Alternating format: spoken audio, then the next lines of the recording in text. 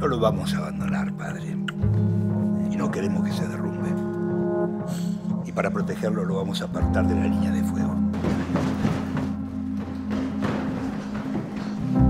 No voy a caer solo. Si yo me derrumbo, se derrumba conmigo toda la iglesia chilena.